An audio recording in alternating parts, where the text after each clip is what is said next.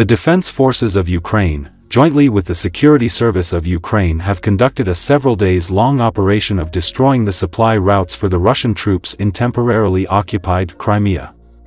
Early reports say a complex strike on substations and power supply networks was launched, as well as on the stocks of light oil products in Russia's Krasnodar Krai. At first, the defense forces launched a missile attack on two ferries that headed to the Kavkaz port and were used for the purpose of military logistics of the Russians.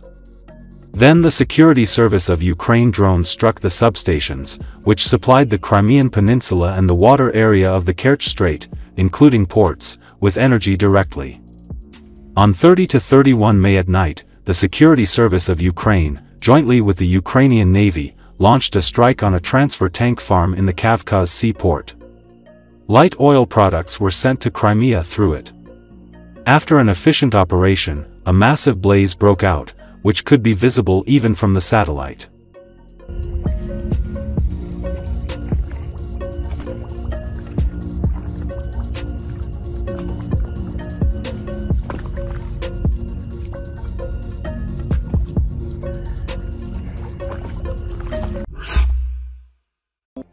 Russian troops killed 550 Ukrainian children since the start of full-fledged invasion of Ukraine in February 2022, Ukrainian Prosecutor General's office reported on Thursday.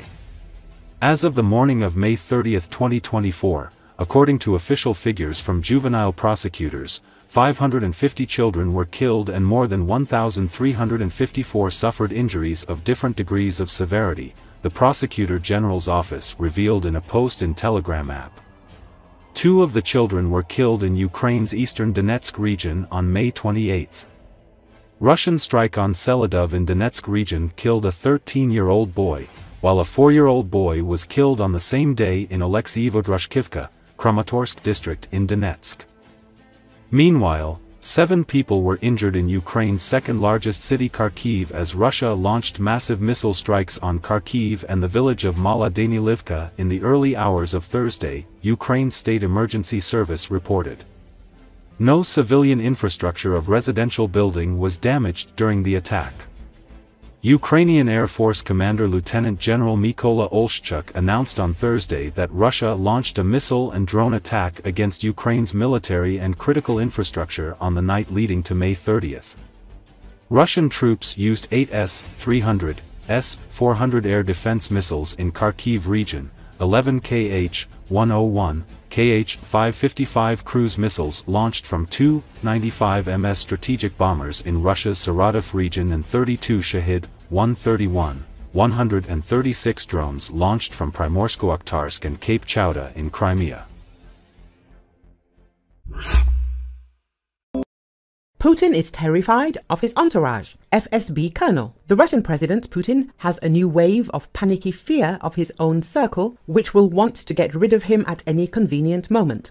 Russian opposition politician, ex-FSB colonel Gennady Gudkov, spoke about this live on the Freedom TV channel. Most of all, Putin fears his own circle, primarily those who are able to get rid of him by force. Currently, Putin is even afraid to be in Moscow.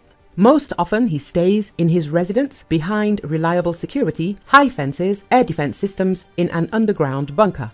Today, the owner of the Kremlin is more concerned about his security than ever. He's just obsessed with it. He constantly changes, doubles, triples his guard, said the politician. He noted that more NATO, more attack drones, and the armed forces of Ukraine, Putin is afraid of those closest to the Kremlin, the circle of those who wear the uniform. These are the people who are in his immediate circle, who are close to him. And this is his main threat, because Putin understands perfectly well that one fine day his circle will decide to get rid of him. And in general, he is right. I believe that such thoughts arise in many people, including those who, perhaps, today bring him lunches and dinners, protect him, etc the oppositionist clarified. According to him, in order to take control of the security bloc, Putin began a major purge of his generals. The first reason for these purges is so that the generals do not think that they are the most important but feel like mere mortals. And at the same time, it's cleaning up those who are dissatisfied with Putin. The second reason is that Putin is concerned about mass theft in the army and in the defense complex as a whole.